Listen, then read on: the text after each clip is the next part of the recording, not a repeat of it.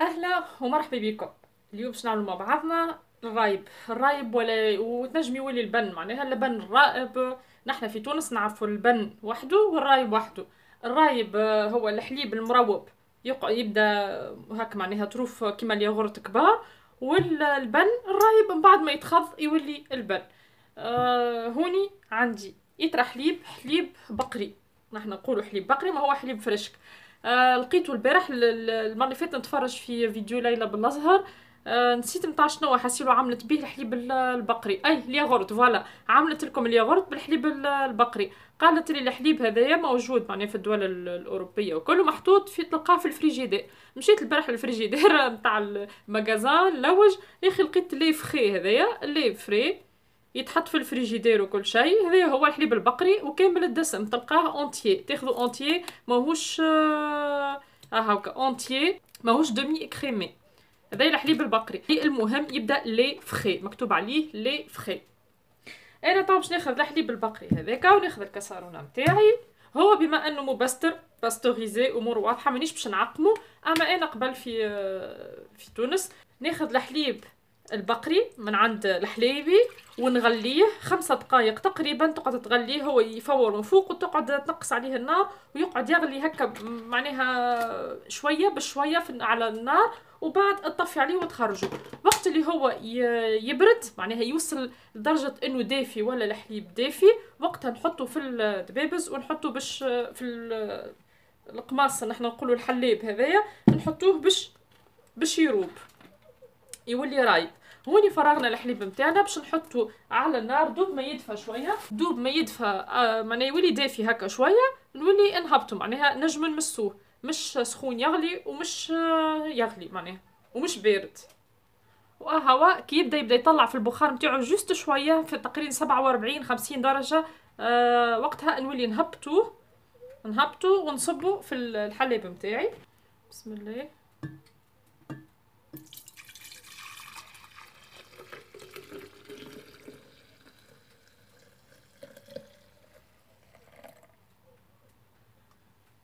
ها هاكا الحليب نتاعي توا ça va كي نمسو ماهوش ماهوش يحرق معناها. توا باش نعملو؟ باش نغطيه نغطيه بال papier cellophane هكا. وإلا بقماش المهم ما ما يتعدلوش الهواء ما يلزمش يتعدلو الهواء voilà. خليه يختمر بالخمائر الطبيعية نتاعو هذيك أحسن حاجة لا نزيدوه لدويات لحتى شيء. هذيك هي حكايته. توا نحطو بحذا الغاز. معناها وين أنا نطيب؟ يبدأ وين البلاصة فيها سخونة وإلا بحذا الكوشة. المهم البلاصة اللي عندك فيها الحرارة تحطها تحطو بحذاك البلاصة هذيك وتخليه تقريبا 24 ساعة. بين 24 48 ساعة. كاين الطقس بارد يشدك نهارين وكاين الطقس سخون ينجم يشدك ليلة من غدوة يصبح آه رايب. آه أنا نغطيه هكا. من غدوة في الوقت هذايا نحل ال papier aluminium ونحرك ونشوفو. إذا لقيتو الكل قالب واحد معناها راب ونجم نستعملو.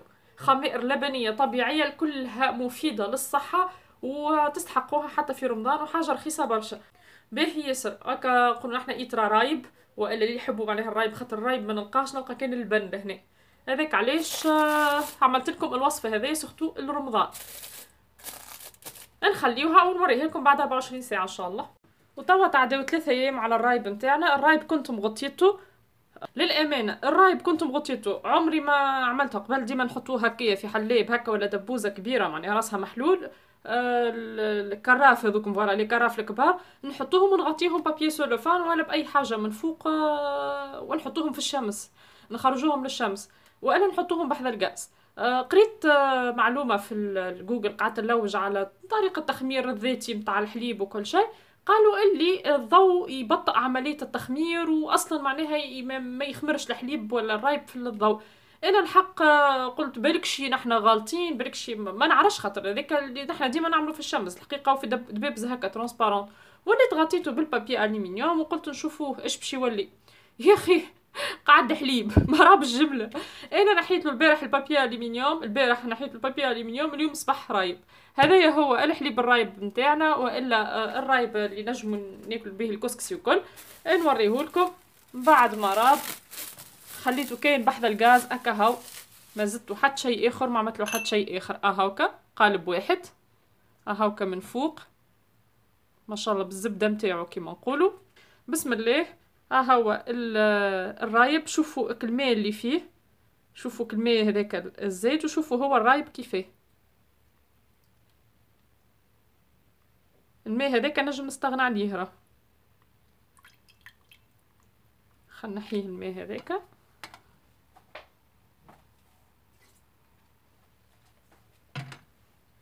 بسم الله.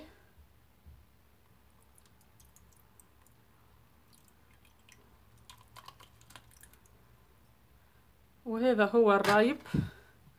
الرايب يكون هكاكا. نحي لكم الفلاش باش ها هو الرايب. يكون هكاكا. هذا هو الرايب نتاعنا. نزيد نصب لكم كيس آخر. هاو كيس آخر. الرايب بسم الله. شوفوه. هذوكم طروف طروف هذاك هو الرايب. راهو الكل منافع. الرايب معروف المنافع متاعو معروفة مذكور حتى في السنة. باهي للمصارن وكل للجهاز الهضمي ومنصوح به في رمضان surtout في رمضان منصوح به على الأخر. حسيلو هذه وصفتنا كانت لليوم. إن شاء الله تجربوها وإن شاء الله تعجبكم. وفي حلقة أخرى وصفة أخرى إن شاء الله. وبسلامة.